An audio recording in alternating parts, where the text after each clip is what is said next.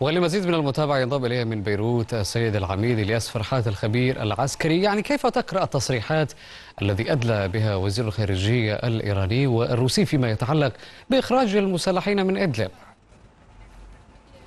هذه التصريحات تدل على أن هناك قرارا نهائيا بحسم الوضع في إدلب من قبل سوريا وروسيا وإيران وأن حسب ما قال أيضا الوزير لافروف أن الوضع القائم لم يعد يحتمل إلى ما لا نهاية. كما أن السيد ظريف أيضا صرح أن هذه المنظمات الإرهابية يجب أن تنتهي في إدلب. أعتقد أننا أمام ملف على طاولة القمة الإيرانية الروسية التركية التي ستجري في 7 سبتمبر الجاري في طهران.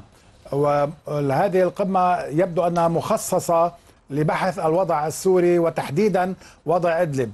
لذلك سوف تخرج هذه القمة بقرارات لإنهاء الوضع في منطقة إدلب.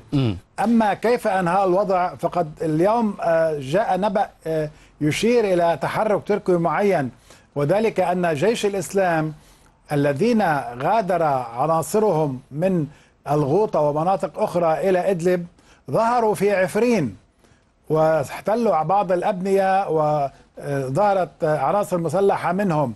هل تكون عفرين هي إدلب الثانية لمسلحي إدلب الذين ترغب تركيا بالسماح لهم بالقدوم من إدلب إلى عفرين؟ فيتجمع العناصر المسلحين الذين طيب سعادة العميد يعني أنت يعني بناء على تصريحات وزير الخارجية الإيراني يقول أنه يجب إنهاء المسلحين في إدلب لكن لم يتحدث عن الكيفية أو الآلية.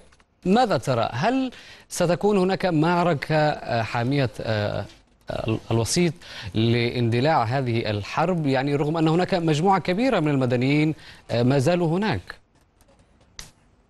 لا مفر من معركة كون أن تنظيم القاعدة في بلاد الشام جبهة النصرة رفض أي تسوية مع الحكومة السورية ومع الوسيط الروسي.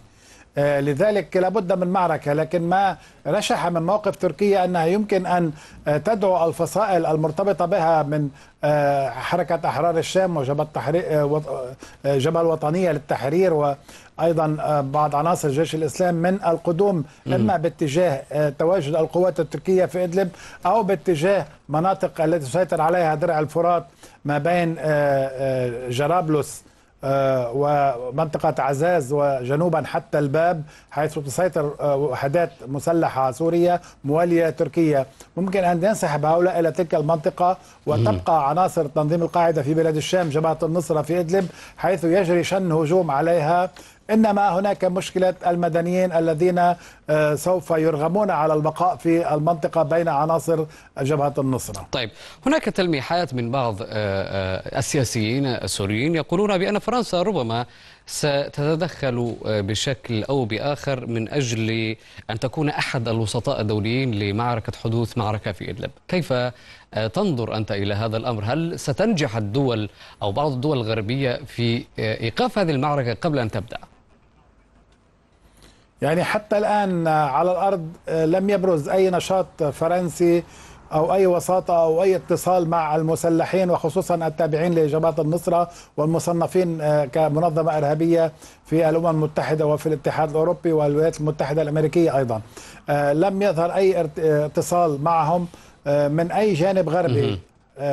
الجانب الفرنسي نعم. يعني حسب وزير الخارجية أمس وحديثه إلى راديو راديو فرنسا. يقول أن الأسد كسب المعركة العسكرية لكن لم يكسب المعركة السياسية. مم. لم يتحدث عن أي وساطة ولا عن أي حل ميداني تقدمه لادلب نعم. شكرا جزيلا لك سعادة العميد. الياس فرحات الخبير العسكري كنت معي من بيروت.